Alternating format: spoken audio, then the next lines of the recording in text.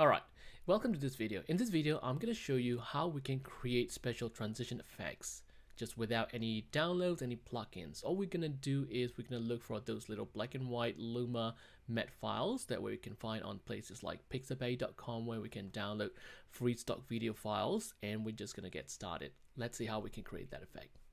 First of all, we're going to do is we're just going to go to the website like pixabay.com. This is a really great place where you can find really good stock video footages. And we're going to look for a keyword called transition. Here you can also use other keywords such as black and whites or shapes and things like that. There are plenty, um, but here I think I found what I want in uh, under the transition, such as this black and white little brush effects. And I'm also going to use this um, little effect called Ink Alpha Matte. Alright, so I'm just um, just going to download those files. I will put up the link in the um, description below. Alright, now that we've downloaded the files, let's get started in Adobe Premiere. To start, I'm just going to go to File, New Sequence. And I'm just going to use the DSLR 1080p 25 because that's the files that downloaded. The size are 1080p. And um, to start with, I'm just going to bring in the video files onto the timeline first. So you can make in and out if you want to by just pressing I for in point, O for out point as you like. And I'm just going to drag just the video file alone. So I'm going to drag from the from this little icon. You can drag the whole thing, including the audio if you need the audio, but in my case, I don't really need the audio. I'm just going to bring just the video file alone to the timeline. And I'm going to press plus keys on the keyboard to make it a little bit longer. And I'm going to drag this a little bit higher so that I can see the, see the track quite clearly. And for the second clip, which I'm going to transition into, I'm going to do the same. I'm going to set in point here. I'm going to drag a little bit further. I'm going to set an out point there. I'm just going to drag by this icon because I only want the video and just going to drag it on the, onto the track 3. Notice that I left the track 2 alone. I didn't want to touch the track 2 yet and I'm just going to try to point it about here. And I will leave a bit of overlaps there so that I can have a bit of a transition coming in. Now we're ready to bring the transition files. So just let's take a look at how the transitions file will look like. The first one we have is this little brush stroke effect.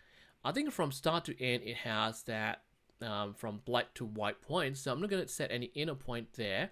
Um, I'm just going to drag the whole video right here. Notice that it's a little bit long, so I'm just going to reposition it a little bit to readjust that and make sure that you have all the videos basically overlapping everything. All right. One thing, very important thing is that you will want to hide this layer or the track there because we don't want to um, display this track when we are actually doing the edits and things like that. So we're just going to click on the little eye icon on the video track to turn it off. Okay. Now we're ready to make the transition. So now we're actually going to apply this effect called set matte to this architecture video above. Notice that these videos are also downloaded from Pixabay. Again, I will give you the link in the description. So first thing what we're going to do is we're going to look for the effects panel there. If you can't see the effects panel, just go to window and look for effects right there. It should be here. And in the search box, I'm just going to look for the word called set matte. And as you can see that set matte is right here. I'm going to drag and drop onto the, the layer that's on top of here, the track here. Alright, notice that changes nothing because we need to change the effect there. So to do that, I'm just going to double click on the video file go to effect controls on the panel here. Again, if you can't find the effect controls, you can find under window, the effect controls are here. You can press shift 5 on the keyboard. Under there, you can see that set matte right now. What we need to change, as you can see that, take matte from the layer video 3. Our video actually is on the video channel 2, so we're going to change that video 3 to video 2. Notice that nothing changes yet, because currently use for matte is set to alpha channel. We're actually using black and white matte, so they don't actually have alpha. Instead, we're looking for what is called luma. So luma basically here is um, shown as luminance, which is bright is um, where the effects will be shown, and dark is where the effects will be hidden. So the moment we change the luminance, you should start seeing the effects appearing here. And in fact, your transition is done. Um, if you watch that here, you can see the effects right there. Alright, however, notice that the effects disappear once the transition or the, the track below disappeared there because this layer or this track is still looking for the set matte video which no longer exists.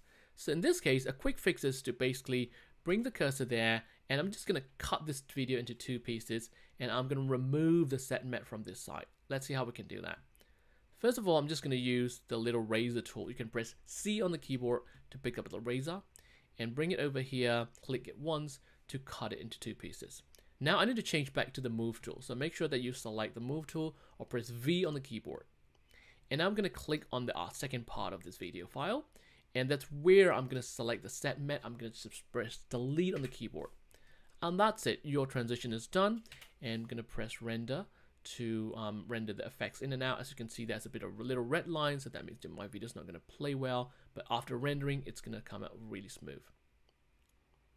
As you can see, that is really, really simple, straightforward effect there.